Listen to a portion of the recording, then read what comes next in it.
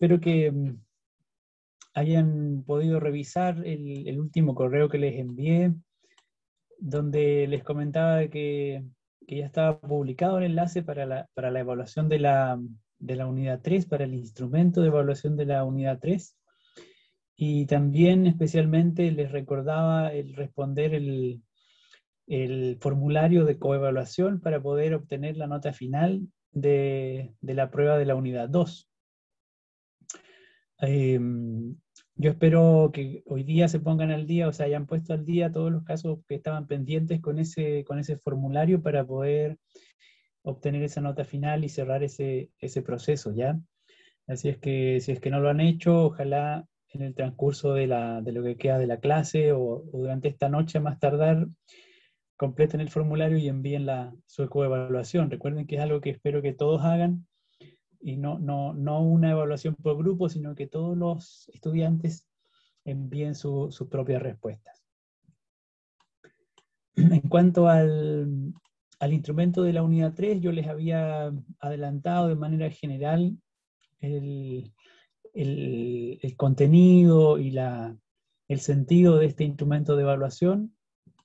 Yo me fijé que varios grupos ya se inscribieron, eh, supongo que hay otros que lo han hecho durante el día o, tienen que hacerlo todavía.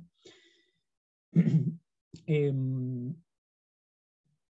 en cualquier caso, de lo que se trata, como les había dicho, es que em, en un ejercicio de, diálogo que vamos a, a, considerar a manera de contexto como un diálogo, una discusión de, entre colegas, se, pone en, común, ¿cierto? Se comparten algunas ideas aclaratorias en torno a cuatro situaciones.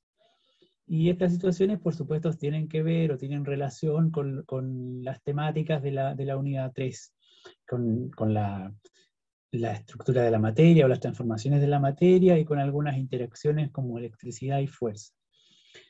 Em, ustedes van a encontrar, si se está viendo bastante mal, me parece que tengo problema de señal, voy a apagar un rato mi, cámara por si eso mejora en parte la, la conexión, ¿ya?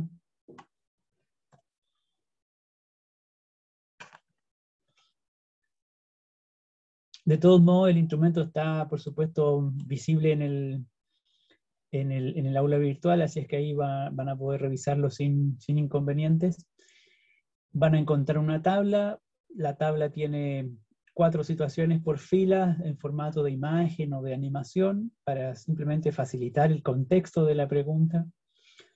Y mm, les pido que, elijan una de esas filas con cuatro situaciones para que cada grupo, cada equipo de trabajo realice eh, su, trabajo en torno a, esas cuatro situaciones. En general son todas situaciones bastante semejantes, digamos, análogas unas con otras y por lo tanto eh, equivalentes en, grado de dificultad. Profe, disculpe que lo interrumpa, pero se ve súper pixeleada la imagen. Eh, sí, lo, entendí hace un minuto y yo también ah, perdón. Lo, veo, pixelado, pero como les digo, seguramente es un problema en la, en la conexión Ah, ya. por eso apagué la cámara por si acaso mejoraba un poco la señal. Si es ah, que está muy mal cuando continuemos, lo, me voy a volver a conectar a ver si mejora en algo la, calidad, ¿ya? Bueno, gracias. Em, como les decía entonces, cada equipo se anota. Aquí ya vemos que hay varios equipos anotados. Eh, ojalá trabajen en equipos de cuatro personas. Eventualmente pueden ser tres, pero pero no pueden ser dos ni pueden ser cinco. Entonces, si es que hay alguna pareja que, no, ha no, ha logrado todavía encontrar eh, más integrantes del, grupo, busquen con quién unirse, con qué otra pareja unirse, eh, o sumen algún integrante que esté solo, que esté sola, para que sean un equipo de al menos tres personas. Ojalá sean, sean cuatro los que trabajen en este, en, este, en este instrumento, en esta actividad. ¿ya? Eh, un poco a la luz de la experiencia de la grabación del podcast, me parece que ustedes asumieron de, muy buena forma el, contexto simulado que yo les pedí considerar, que era esta idea de, de hacer una especie de mini cápsula de podcast, ¿cierto? Para, para difundir o divulgar cierta información. Eso funcionó muy bien en general en los, en los, equipos, en las parejas que trabajaron. Y en este caso, lo que les pido es que tengamos como contexto simulado la idea de que hay un, una reunión de trabajo, hay una conversación informal, puede ser en ese sentido cualquiera de las dos instancias, en las cuales los miembros del equipo, en cuanto colegas en el área de enseñanza de la ciencia, eh, conversan, dialogan y, se y aclaran dudas en torno a estas situaciones que, que eligen en cada caso. Eh, por lo tanto, se trata de un diálogo informativo em, en el cual hay intercambio de ideas o complemento de opiniones o de ideas para construir justamente una, una comprensión, una, una, respuesta en torno a la pregunta o a las preguntas que les pido considerar.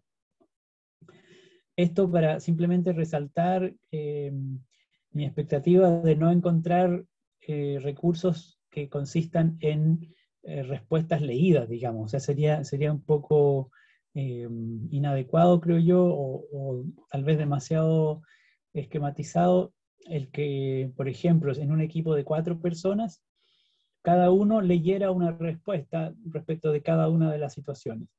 Eh, eso no, daría cuenta justamente del, contexto supuesto que estamos imaginando en el cual se da este, este, este intercambio de conocimiento, ¿ya?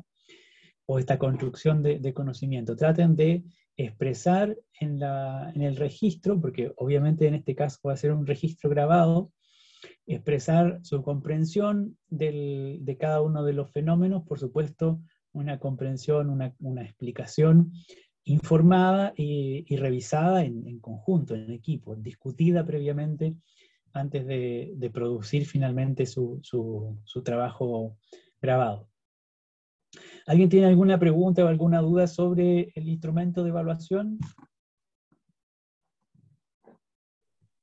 Profesor, buenas tardes. Buenas.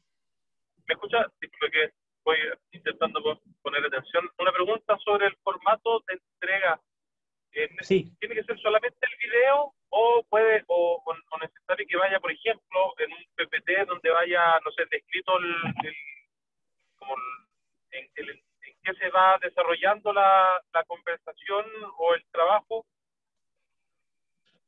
Eh, yo prefiero que sea solo el, video, en el sentido de que lo que vamos a evaluar es el contenido de la comunicación que se da entre ustedes en cuanto a profesores y profesoras. Y no, es, no es una clase expositiva y por lo tanto no hay, un, no hay una instancia en la cual ustedes usen el, el PowerPoint o algo así.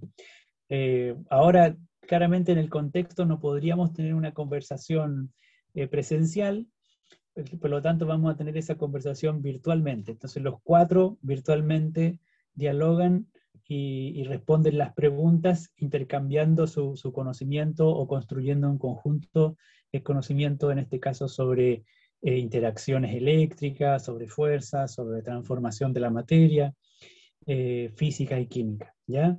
Em, eventualmente lo que, puede, lo que puede ocurrir en, en, un contexto real, eventualmente a lo mejor alguien tomaría un lápiz y haría un bosquejo, eso podría a lo mejor darse en un contexto real. Em, pero, pero yo preferiría que lo evitáramos, evitáramos el uso de PowerPoint, ¿ya? yo voy más que nada también al, al hecho de, por ejemplo, la, a lo mejor es algo eh, más, más, formal, el hecho de, de, de, que haya una presentación, por ejemplo, de los integrantes del grupo al inicio, si es necesario, no es necesario, porque igual el tiempo son cuatro a seis minutos y se gasta, por ejemplo, en una presentación de los integrantes eh, 30 segundos, 40 segundos en, el inicio. Entonces, si es necesario claro, no. o no es necesario. No, no, no es necesario, Patricio. Eh, todo lo contrario, les pido que inviertan los, los, minutos de la grabación, los inviertan en este diálogo de, aporte o de construcción o de colaboración en torno a, a, algunos conceptos relacionados con las situaciones que están en juego. Básicamente la pregunta es la misma que va cambiando, ¿cierto? Eh, dependiendo de la situación. Eh, ¿Cómo puedo explicar lo que ocurre en la interacción entre el pelo y el globo? Sería una situación. ¿Cómo puedo explicar lo que ocurre con la fuerza en el movimiento del elefante? Otra situación. Y, y por lo tanto van discutiendo las respuestas en torno a esas preguntas. Y concéntrense exclusivamente en eso. eh, no es necesario que haya formalidad de, presentación ni nada por el estilo. Es, lo que grabamos, imaginen que grabamos, metemos la, cámara de video, la metemos en medio de una, de una conversación en el pasillo, en el recreo, donde los cuatro profesores tratan de, aclarar estas situaciones o estas dudas conceptuales. Gracias, profesor. De nada. Em, eso entonces, ¿algún otro comentario, inquietud sobre la, evaluación?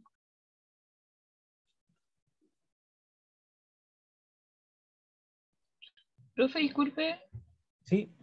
Yo ingresé un poquitito tarde. Em, si tenemos alguna duda respecto a la explicación como más eh, técnica o el lenguaje que usted menciona que debemos incorporar, se puede a través del foro, ¿verdad? Sí, idealmente a través del foro es lo, mejor, porque si es que no lo respondo yo, eventualmente también lo pueden ir comentando sus propios compañeros. Em, y mientras antes tengan esas inquietudes, mejor en el sentido de que poder recibir una retroalimentación durante la semana. Ya, profe, muchas gracias. De nada. Profe. Sí. ¿Y existirá quizás la posibilidad de enviarle como quizás un estilo guion de lo que se va a hablar? o no le daría tiempo de revisarlo? Eh, prefiero no comprometerme porque no, creo que tenga el tiempo para revisar guiones y, si abro esa posibilidad tendría que abrirla para todos. Eh, en ese sentido es, preferible que, busquen preguntas concretas o preguntas puntuales que, en las cuales pueda guiarlos o pueda orientarles.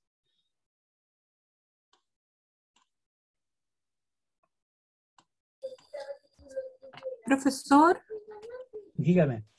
¿Cree que tomemos todos los puntos que salen arriba en el propósito de la evaluación? La materia, las transformaciones, eh, los conceptos que salen acá, la teoría atómica, que, todo lo mezclemos ahí en esos minutos en la conversa.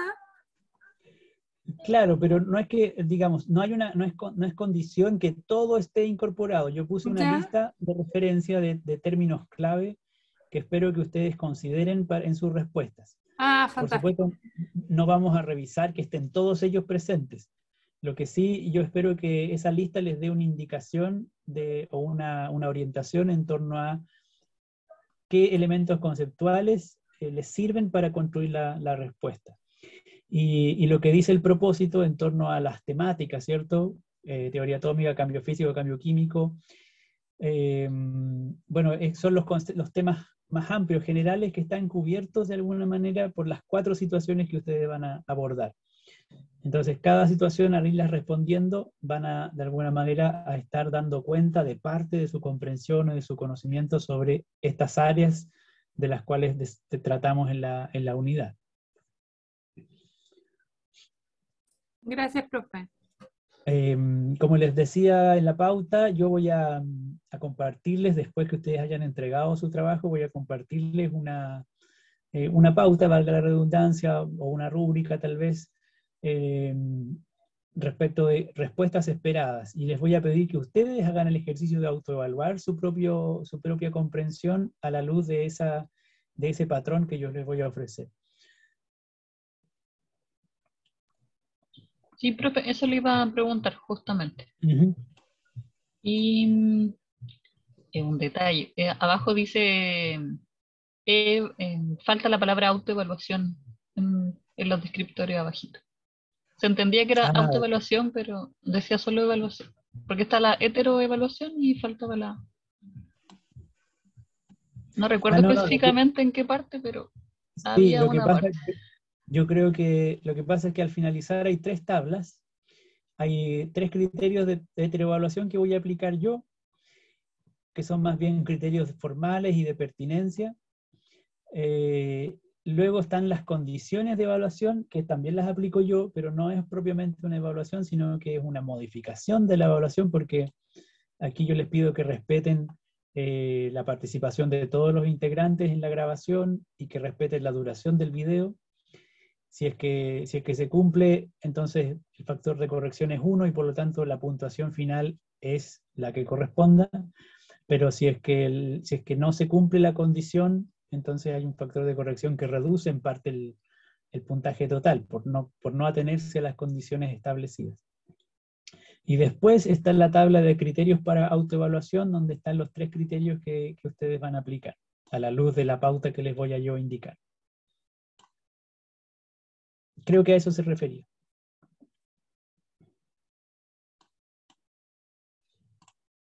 Bueno, eh, no ha mejorado la calidad de la imagen, así es que voy a reconectarme por si acaso mejora, solo por si acaso, porque en realidad no, tengo ningún fundamento técnico para, esperar que mejore.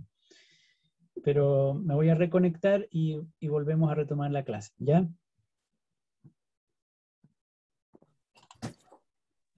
Vale, profe. Ya, profe.